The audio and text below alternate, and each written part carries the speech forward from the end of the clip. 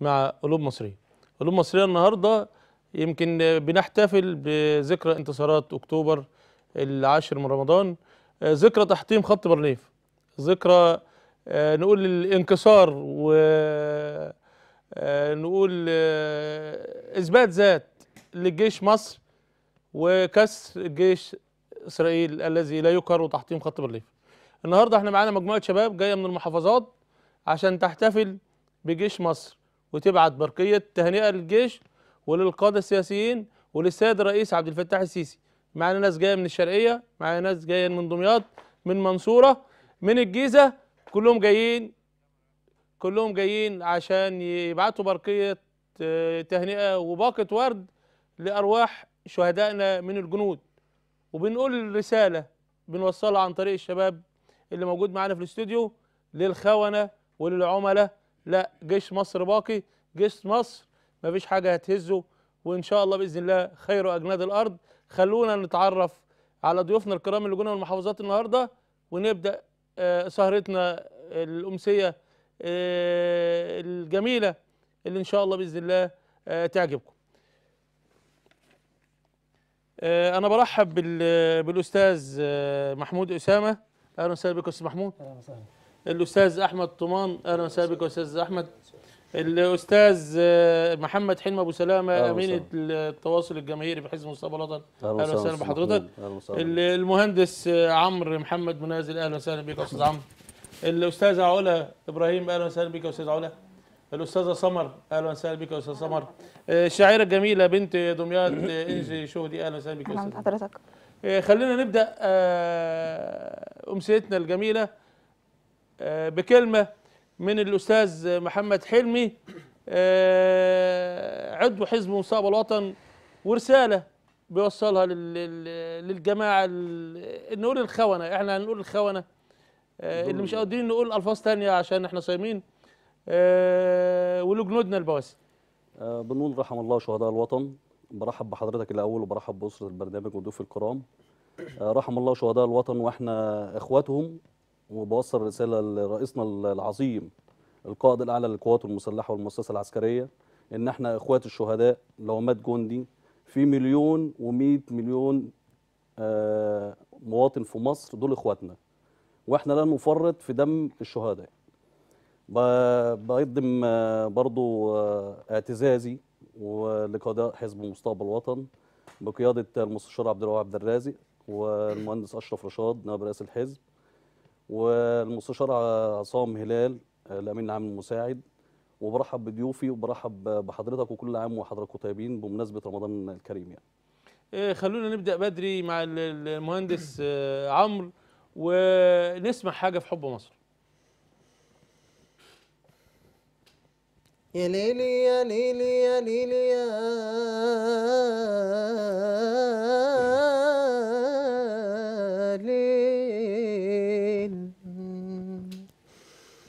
يا ليلي يا ليلي يا ليلي يا يا ليل يلي حضنك هو نفسه حضن أمي. يلي ليكي فيا أكتر من اللي ليا. يلي مهما بعدت عني جوا دمي.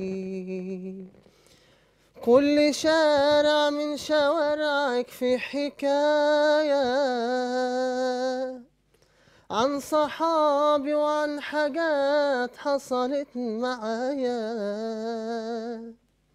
ناس كتير غني غنوة ليا وأنا مهما كان غنايا مش كفايه برغم أي محنة صعبة عشت فيها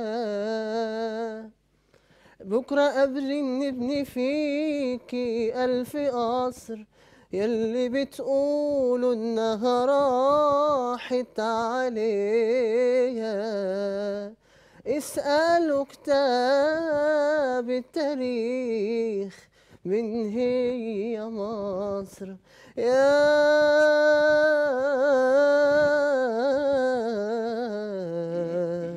يا مصر. الله عليك. خلونا نسمع آه، بنت دمياط آه، صوت البنت المصرية اللي جاية لابسة لبس ال- القوات المسلحة وبتوصل رسالة بتقول إن إن في ناس على الجبهة وفي ناس في الشارع وكلنا في ده مصر نسمع حاجة من الأستاذة إنجي. نسمع قصيدة بعنوان نحن الجنود. نسمع. نحن الجنود أبناء الأسود.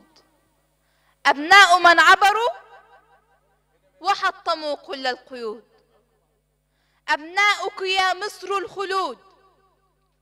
نعاهدك يا مصر بأن نكون فوق الجبال تحت التلال أمامها أسود.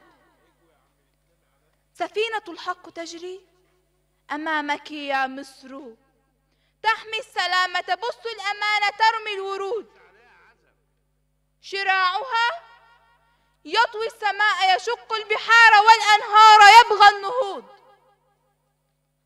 يا مصر إذ كانت حياتنا هي ثمن بقائق ها هي تبغى الخلود. وإذا العدو يوما تطاول فنحن يا مصر الصمود. يا مصر عشتي وعاشوا رجالك أوفياء أقوياء شجعان. كانوا يا مصر النور لما كان في الدنيا الظلام. كانوا يا مصر السفينة لما كانت ساعة الطوفان. رجالك يا مصر حاربوا ضحوا عبروا. رجالك يا مصر قالوا تحيا مصر. ويسقط الطغيان. بص شوف يا جندي واسأل عن رجال كانوا هناك على أرض سينا الغالية. فوق الرمال واقفين صاحيين وسلاحهم بين إيديهم. وحالفين ما يجي يوم عليك يا مصر وتعيشي في ظلام. بص شوف يا مصري واسأل كم سنة عشنا في سلام؟ ومين يا مصري ضحى بحياته؟ ومين يا مصري عايش ولسه شايل ذكرياته؟ تحيا مصر. يا مصر. أنا شايف في في حاجة ال- الأستاذ محمود والأستاذ أحمد آه، هيبدأوا بيها ال- السهرة معانا. يلا سمعونا حاجة كده. يلا.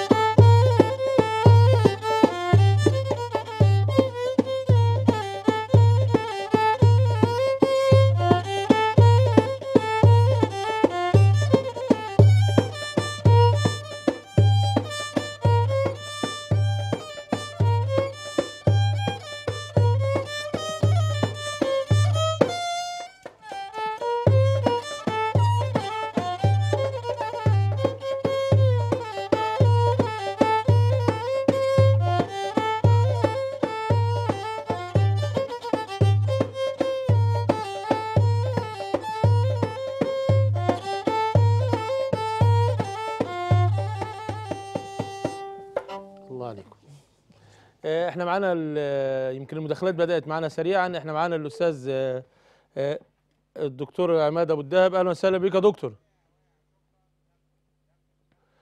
آه، الخط فصل آه، نرجع له تاني ونسمع الأستاذ آه، آه، محمد ونشوف الفعاليات اللي تمت من حزب مستقبل وطن على أرض الشارع الفترة اللي فاتت.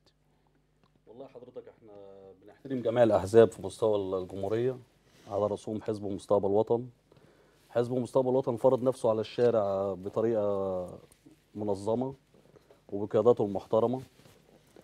إحنا أنا امين عمل جماهيري في الحومديه بقيادة الدكتور عماد أبو الدهب.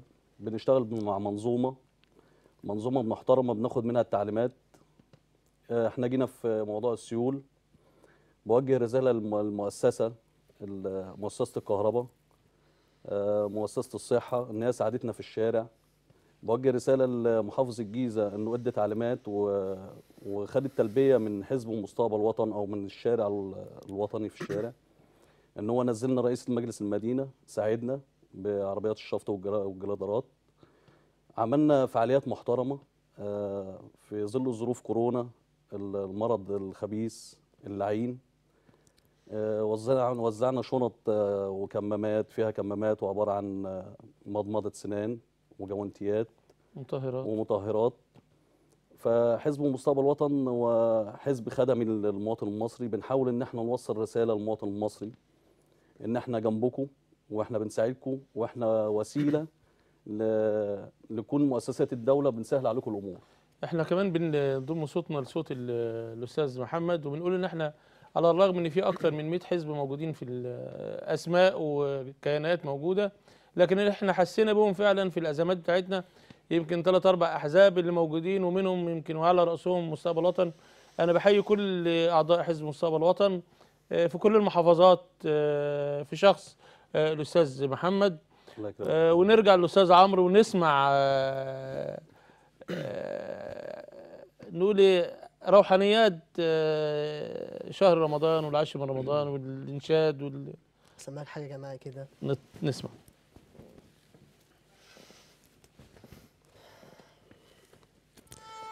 صلينا على النبي الهادي الأمين. سيدنا النبي حسن جد الحسين. من نور جمال النبي. من شق القمر نصين. ألفنا روح يا نبي.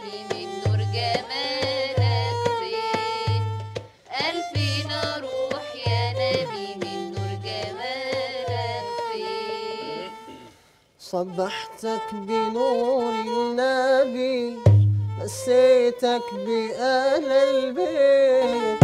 ما زادش في هواك مطلبي وعندي الحبيب صليت. صبحتك بنور النبي مسيتك بآل البيت.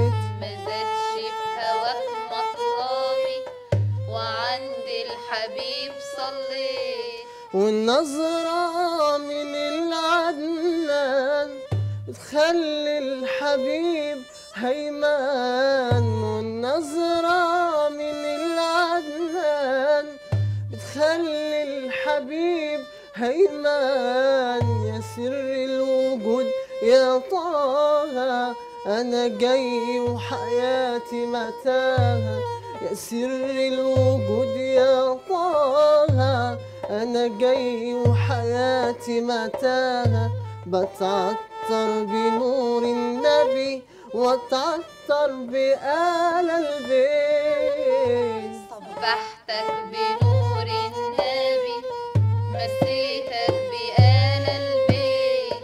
ما زادش في هواك مطلبي وعند الحبيب صليت.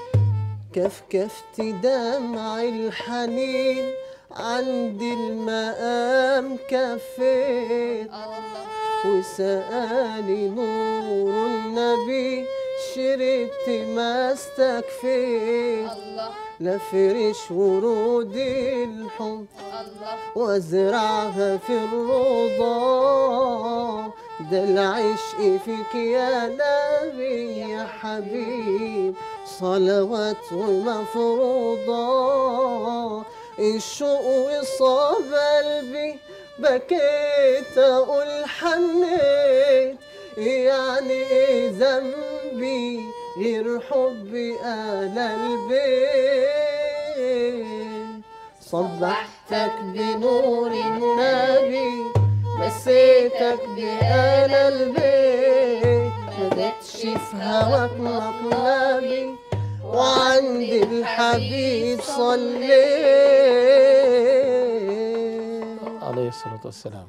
آه، جميل وشباب وروحانيات وكلام خارج من القلب في ذكرى انتصارات آه، أكتوبر العاشر من رمضان.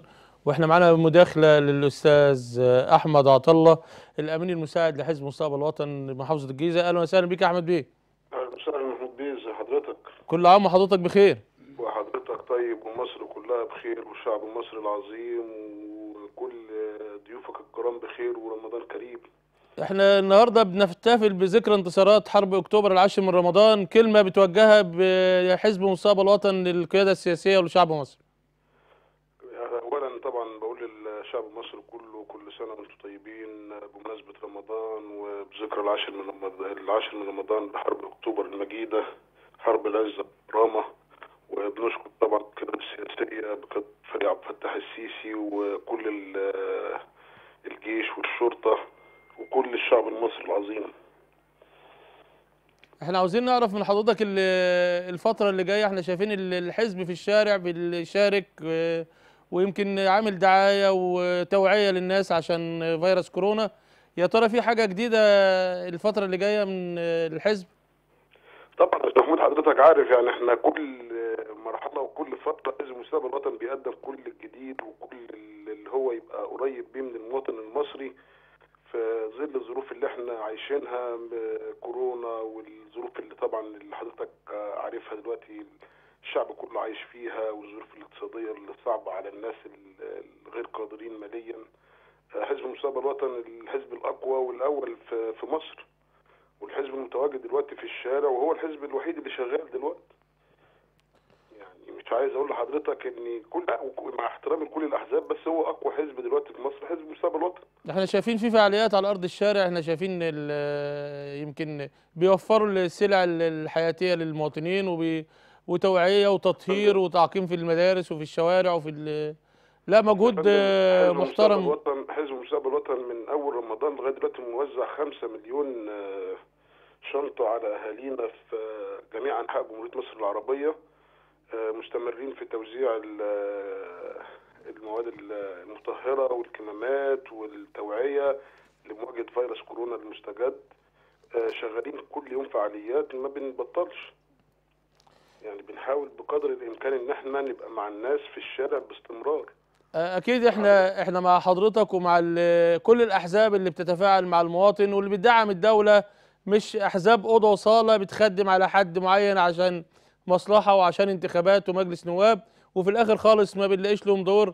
أنا بحيي حضرتك وبحيي كل أعضاء حزب مستقبل الوطن أشكرك جدا يا أستاذ محمود وضيوفك الكرام وبرنامجك الجميل اللي كل الناس بتشاهده وأنا من أكتر المتابعين ليه ولحضرتك وأحب أقول لكل الشعب المصري والقيادة السياسية كل وأنتم طيبين وإن شاء الله الأيام اللي جاية هتبقى أحسن. و- وخلي بالك من الكلمة اللي هقولها دي مصر الفترة اللي جاية هتبقى أحسن وأحسن وهتبقى من الدول العظمى إن شاء الله. إن شاء الله يا فندم. أشكر معاليك يا فندم. آه، نسمع ال- الأستاذة إنجي كده وحاجة ال- هنسمع قصيدة عاوز تشوف بلدك؟ إحنا نسمع أي حاجة؟ أوكي. عاوز تشوف بلدك؟ أعظم بلاد الكون. شوفها بقلوب وعيون الطمعانين فيها. شوفها بعقل وروح قاعدة أعاديها هما اللي عارفينها دارسينها حارة وحي. هما اللي عاشقينها عارفينها أصل الضي. بيشتروا رمالها وأثرها بالملايين. بيدمروا عقولنا بالفتنة والكوكايين. ما بيقاسوش أبدا. وكأن عدوانهم مكتوب في كتابهم وأساس شرع ودين. عاوز تشوف بلدك؟ أعرق بلاد الكون. شوفها في نهر النيل في الضحكة والمواويل في القلعة والأهرام. شوفها في جمال أسوان في معبد الكرنك في القاهرة والأقصر. في المسكي في العتبة في السيدة نفيسة سكان حواريها والأولياء ليها. عاوز تشوف بلدك؟ شوفها في عرق وصمود الشقيانين فيها. شوفها في لحن وصوت الملهمين بيها. في ريشة الفنان في الصورة والألوان. عاوز تشوف بلدك؟